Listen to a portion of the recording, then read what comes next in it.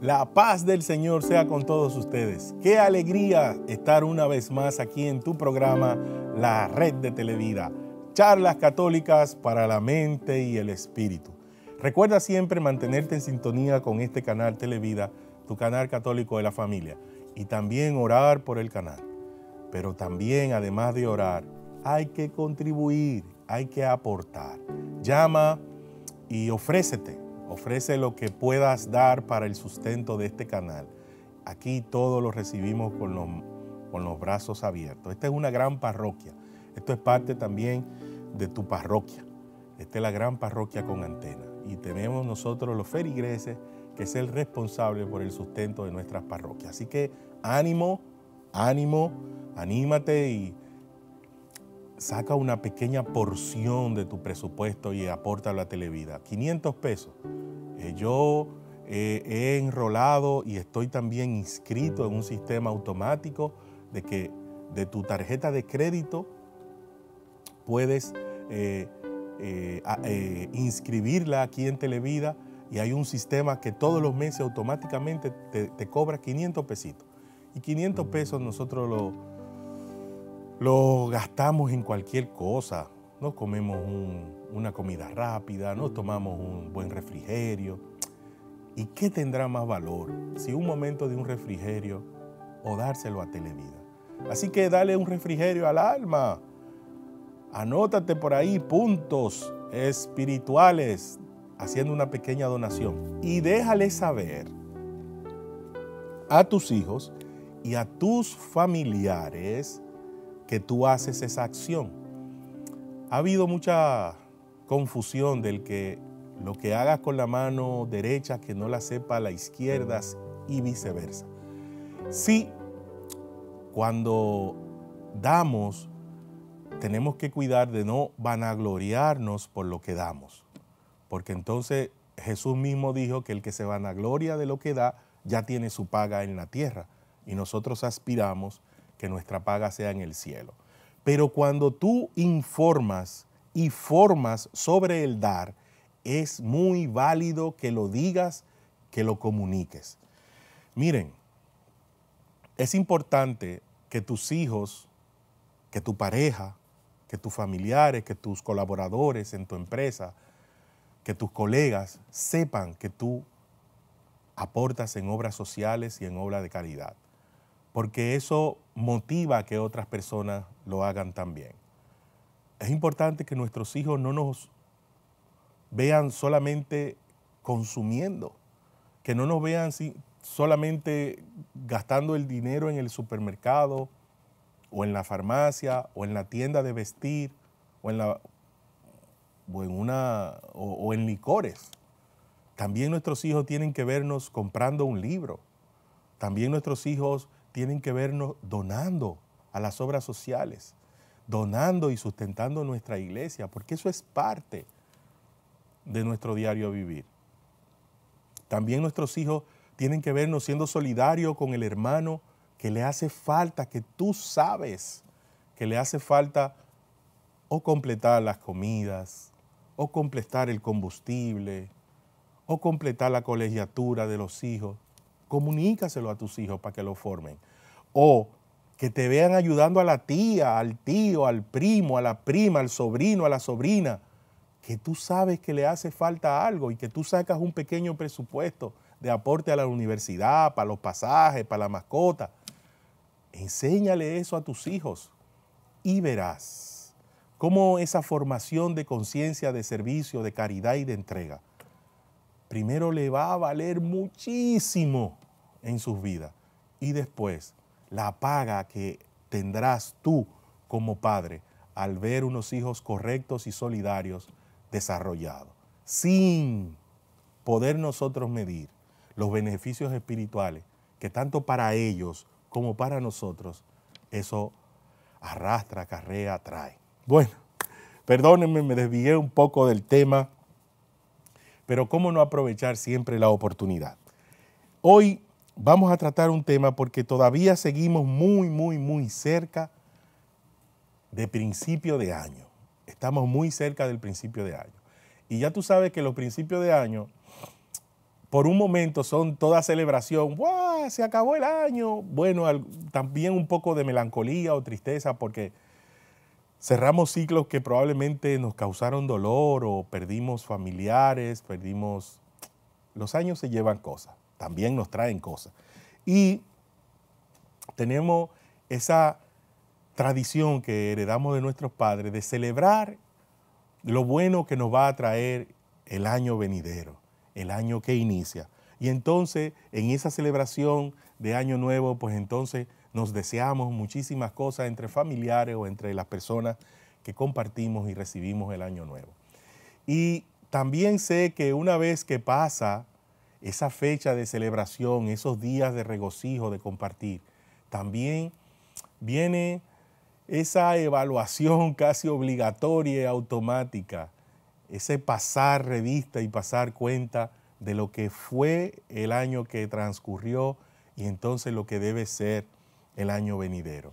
Y muchas personas, yo también me ha pasado mucho, experimentamos mucha angustia porque recordamos los propósitos que nos hicimos al principio del año que acaba de terminar.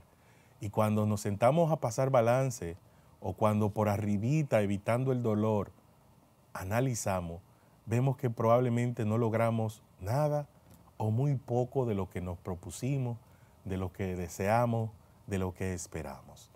Y entonces nos invade el dolor y la angustia de que si va a ser lo mismo este año también, que con ánimo y con mucha declaración, pues eh, empezamos el año. Y, y ahí está. Y no se supone que sea así, queridos hermanos, queridas hermanos. Se supone que en todo cristiano el transcurrir debe ir acompañado de frutos y de resultados abundantes y de resultados extraordinarios. Sí, sí, el transcurrir de tu vida como cristiano, el transcurrir de mi vida como cristiano, debe traducirse en un transcurrir de frutos siempre. Que habrán sus adversidades y sus reveses, sí. Pero si llevas mucho tiempo teniendo la misma relación de pareja, teniendo la misma, los mismos resultados en el negocio, teniendo tu misma relación con la iglesia, con Cristo, con el mundo, hay que revisarse. Hay que revisarse. Porque lo que se presume es que nosotros los seres humanos seamos progresivos. Lo único que no es progresivo es nuestro cuerpo, que en algunas cosas va degradando y perdiendo fuerzas y formas. Pero en otras, hermanos, debemos ser progresivos. Ser progresivo significa profundizar en la fe, profundizar en nuestra forma de vivir la fe profundizar en la forma de ver nuestros hijos, profundizar en la forma de relacionarnos con nuestra pareja, profundizar en la forma en que producimos, nos relacionamos y nos asociamos. Hay que ser progresivos. Y mucha gente en estos principios de año desea muchas cosas, salud, prosperidad, y una cosa y que otro. Y un amigo siempre me llama y me susurra, Josué, que te hagas un santo. Y esa llamada de santidad la espero año tras año. Gracias. Gracias por desearme santidad. Deseale santidad a tu familia. Deseale santidad a tu pareja. Deseale santidad al sacerdote. Deseale santidad a las personas. Que Dios te haga un santo. Que la santidad sea una manera de, vivir, que la santidad sea una meta a cumplir y a alcanzar. Es lo que estamos llamados a ser como Cristo, a ser santos. De eso se trata. Y los santos fueron hombres y mujeres, son, porque están en el cielo y están vivos, en el cielo, que vivieron la fe y la vida de una manera extraordinaria y espectacular. No se llega a la santidad teniendo una fe y una vida en Cristo ordinaria. Pregúntate, hermano. Pregúntate, hermana. ¿Tu vida de fe es ordinaria o es extraordinaria? ¿Qué hace que algo sea extraordinario? Dividilo etimológicamente la palabra. Hacer algo extra de lo ordinario. Si usted va una sola vez al Santísimo, vaya tres o cuatro, ya está haciendo algo extra. Si hace cosa extra, a tener, empezará a tener resultado extra. Y si esos resultados extraordinarios se hacen frecuentes, entonces usted va a tener vida extraordinaria en todos los aspectos de su vida. ¿Sabe por qué tú y yo sufrimos muchas veces? Porque siendo quienes somos, gente ordinaria, esto no se trata de ser ni malo ni bueno, gente normal, educada, productiva, trabajador, solidario, integrados, colaboradores, lo que se espera del cristiano converso, maduro, como tú, como yo. Pero caemos lamentablemente en un tiempo en, lo ordinario. Cuando ya algo se hace muy prolongado en tu vida, pasa a ser lo ordinario.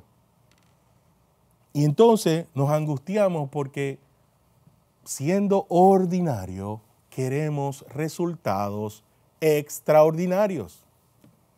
Y no es posible. Hermanos, no es posible que el Espíritu Santo te dé dones especiales de tu sanar, de tu profetizar, de tu liberar, siendo un cristiano ordinario. No. Tienes que elevar. Tienes que elevar tu vida la catequesis de la iglesia está ahí, de cómo profundizar para que el Espíritu se derrame y de cómo solicitarle al, Dios que es Padre e Hijo, que su Espíritu se derrame en nosotros y nos dé dones extraordinarios. Lo extraordinario de tu vida, lo extraordinario de mi vida, está allí en hacer lo que hasta este momento no hemos estado dispuestos a hacer. ¿Qué es? Tú lo sabes. Yo sé de lo mío.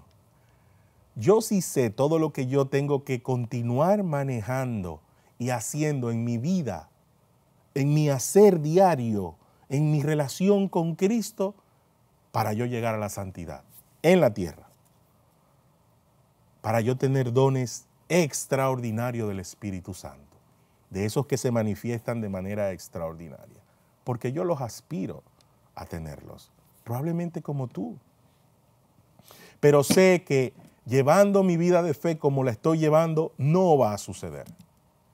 Y no me angustia el no tenerlos. Me anima la idea de aspirar a tenerlo y, a, trabajar. Y a trabajar para tener dones extraordinarios y ser un cristiano extraordinario conlleva pagar precio. Cristo, por revelar, revelarse, revelar la salvación Cristo por poner al ser humano por encima de la ley le costó la vida. Así que, que para nosotros alcanzar cosas grandes vamos a tener que renunciar, perder otras cosas que nos dan mucho placer, que nos dan mucha satisfacción, que nos dan mucho prestigio, que nos dan mucha trascendencia, pero que no van en concordancia de la vida cristiana y de la vida en Cristo. Y esa es una de las cosas que yo más lucho. No darle tanta importancia a la trascendencia humana, más bien el crecimiento y la madurez en la relación con Cristo. No darle tanta importancia al tener cosas, sino a tener para compartir y para sostenerme para poder servir. Contra esas cochas lucho. ¿Y tú contra qué estás luchando? ¿Qué cosas te mantienen todavía sujeto, sujeta a no ser un cristiano extraordinario? Los doce discípulos fueron extraordinarios. Jesús le dijo, ven, como te dijo a ti, te me dijo a mí. Y ellos que hicieron lo dejaron todo y lo siguieron. Eso es extraordinario. A veces me veo haciendo cualquier cosa, haciendo un servicio en la iglesia, acompañando a un hermano, dando una catequesis, haciendo lo que tú y yo estamos llamados a ser, por estar integrados en una parroquia, por estar viviendo la fe. Y créenme, hermano, me inflo. ¡Wow! ¡Qué bien! Y el Señor que es tan bondadoso me da unos regalos porque cada vez que esto me pasa, que me siento como que inflado, como que, como decimos nosotros, me la estoy comiendo, Él siempre me pone una religiosa o un sacerdote en el camino. Y desde que yo conecto con, con lo que han hecho estos hombres y estas mujeres, digo, ay Dios, cuánto me falta. Ellos también lo dejaron todo por ti. Dejaron familia, dejaron carrera, dejaron pareja, dejaron la posibilidad de tener hijos carnales de sus entrañas por seguirte a ti. Digo, wow, cuánto me falta. Cuánto me falta. Y sé que cada uno tiene un servicio diferente en la iglesia. Ellos como sacerdotes, como religiosos, yo como laico, como padre. Y uno es tan importante como el otro. Pero, por favor, hace falta que trascendamos en nuestro papel dentro de la iglesia. Hace falta sacerdotes santos. Dice un religioso que la República Dominicana hay una deuda con la iglesia y con el cielo. Nosotros necesitamos un santo dominicano. Y está en estos tiempos. Hay algunos que estamos mirando hacia atrás en la historia y está la posibilidad de la beatificación o la canonización. Pero estamos a tiempo de que salgan religiosas y sacerdotes santos, pero también que salgan laicos santos. La santidad debe ser una meta y una manera normal a alcanzar. Esto debe estar en el proyecto de cada año de nosotros. Ser santos, vivir en la santidad que Cristo ofrece. Porque Él vino a enseñarnos a ser como Él. Él escogió encarnarse y vivir una vida y una experiencia humana. Y nos dice, si haces lo que yo hice, si vives como yo te invito a vivir, tú llegarás al Padre. Y esa es la santidad. Y es un propósito que todo cristiano, año tras año, debe tener en su lista de deseos. Hermanos, porque con la santidad es que alcanzamos la meta última, ser felices, vivir como en un paraíso en medio de este desierto. Vivimos en el reino de Dios en la tierra, porque para vivir en un reino hay que tener un rey, y nuestro rey es Cristo Rey. Y cuando tú lo pones a Él de rey, de verdad Él te da las condiciones para que vivas en su reino. Lo vas a poder ver, lo vas a poder experimentar, pero tienes que reconocerte del reino de Dios tiene que reconocer a Cristo como Rey. No es posible gozar de los beneficios del reino de Dios si no reconoce a Cristo Rey. ¿Y cómo reconoces que Cristo es Rey? Haciendo lo que el Rey espera que su pueblo haga. Es, es algo tan simple, pero tan difícil de lograr porque estamos tan apegados a lo conocido que a lo complejo, a lo tradicional, que dar un salto a estas cosas tan simples, pero que conlleva mucho, conlleva, de que conlleva, conlleva. Este año vamos a culminar la serie de programas de plenitud humana creciendo a la estatura de Cristo. Nos quedan unos cuantos programas, pero también vamos a empezar a generar otro tipo de programas especiales que nos apoyarán, nos apoyarán a manejar la integralidad que como cristianos debemos manejar. ¿Y qué es la integralidad? Es vivir organizado y en coherencia. Uno de los grandes regalos que Cristo creó a través de sus apóstoles en las primeras comunidades cristianas es la comunión, la vida en comunidad. Porque ahí se anulaban las culturas, ahí se anulaban los, los, los títulos, ahí se anulaban las costumbres. Y entonces se asumía el cristianismo y lo que Cristo proponía como modelo de vida. Por eso, hermanos, cuando nosotros estamos como cristianos formando comunidad, debemos apoyar a que toda la comunidad viva lo más coherente, lo más organizado y lo más parecido posible a lo que Cristo invita a vivir. y mucha gente no lo hace porque no tiene la formación. En estos tiempos hay una desinformación. En estos tiempos hiperinformados hay una desinformación. ¿Y cuál es la desinformación principal en esta era de la información? Que creyendo nosotros que teniendo la información a la mano, de saber todo lo que está pasando, eso es estar bien informado. No, eso no es. Eso es tú estar al día con la información, pero eso no es estar bien informado.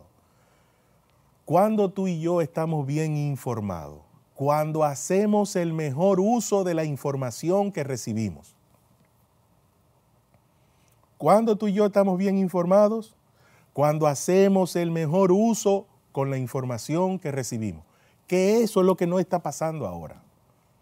La gente recibe muchísima información, tú y yo recibimos mucha información, pero no estamos sacándole provecho y aplicación a la información que estamos recibiendo. La calidad de tu vida y la calidad de mi vida hoy depende de cómo hago uso adecuado de la información y de la información que recibo. Por eso la iglesia se ocupa tanto de formarnos en muchas cosas para igualarnos en la fe, en el conocimiento de Cristo, en la información. Un cristiano, hermanos, hermanas, es un ser en constante crecimiento y formación. En constante crecimiento y formación. Y te animo a que también como propósito de este año, aquella información de mucha calidad que tú tengas, que te está permitiendo desarrollarte y desenvolverte bien, no tan solo en la iglesia y en la fe, sino en todos los otros aspectos de tu vida. Te está permitiendo desenvolverte bien en tu familia, con tu pareja, con tus hijos. Te está permitiendo desenvolverte bien en el trabajo. Te está permitiendo desenvolverte bien en la sociedad, en cualquier aspecto. Compártela. Compártela. Ocúpate de que alguien más, gracias a ti, la aprenda y la viva. Pero no lo haga tan solo en las redes sociales, que es bueno, pero a veces mm, lo hacemos por los likes, por la necesidad de reconocernos y trascender.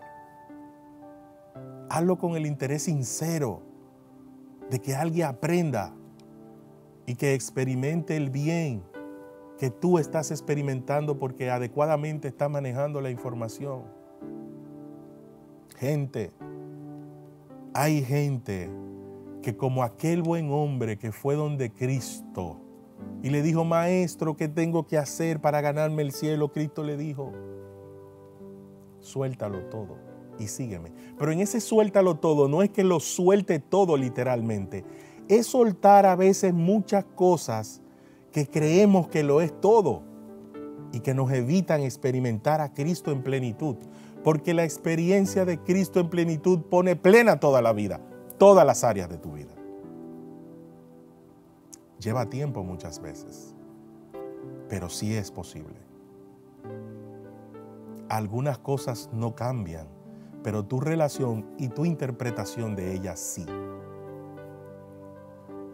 Por eso es importante que con la calidad de la información que tú tengas, tú puedas hacer la diferencia, tú puedas ser el elemento diferenciador para que Cristo se manifieste pleno en la vida de un hermano, de una hermana. Hace falta tu efetá, tu abrirte, para que también se abra la vida de otras personas. Que en este nuevo inicio de año, el Señor te fortalezca la fe, que te dé la certeza de que dándote por y para otros es como mejor le servimos a Él. Que otros experimentando a Cristo a través de nosotros es lo que Él espera de ti y de mí. Y que en tu lista de deseos tengas de primero la santidad. Que el Señor me los bendiga, los guarde y los haga santos. Hasta un próximo programa.